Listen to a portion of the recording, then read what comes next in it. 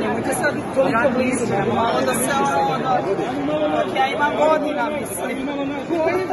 Najbolji godina, najbolji godina.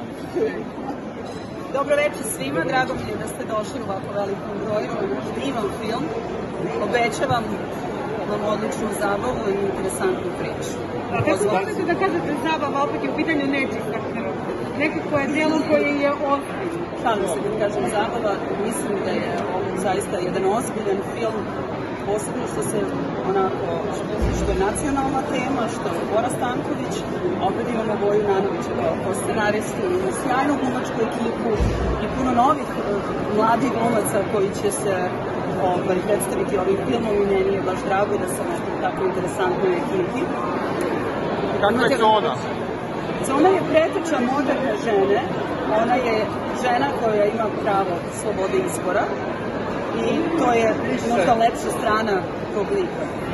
Pomalo je surova i to je ono što mi je bilo izazov da odigram i možda čak malo problem, nekad to mi je bilo najteže, što se ne slažem s nekim mora, to tako karakter. I imala sam scene jahanja, a nažalost ošinula sam se na samom početku, tako da sva moja jahanja su bila sa pojasom i pod velikim rizikom, ali smatrala sam da bez toga ne može. Je bilo golova, nije? Golova? Da.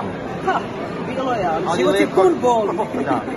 Da li ste, kroz- da li ste da proživjeli pola žena u tom vremenu tada i kako ga možete porediti sa današnjom situacijom? Ona nije ta patrijarhalna žena, ona je vrlo slobodna, e, drugačija, otresita, ona ima svoj biznis i čak njen brat rođeni za nju kaže nije ona kao druge žene, ona ima mušku ruku. Tako da u tom smislu je meni bio izazov da odigram takvu ulogu.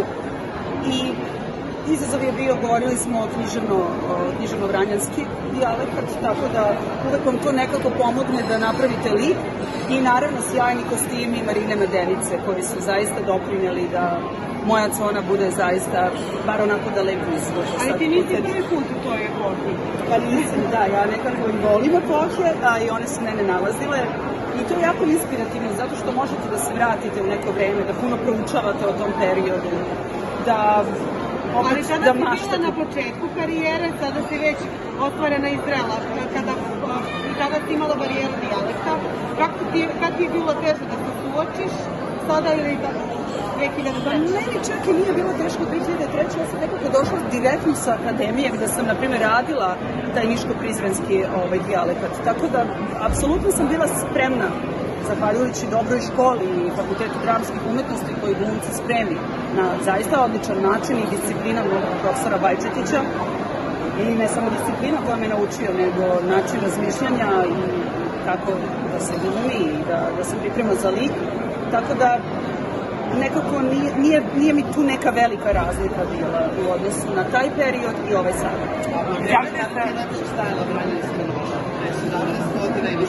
E pa to ćete vi vidjeti, ali ja mislim da je jednako dobro i onda i sada.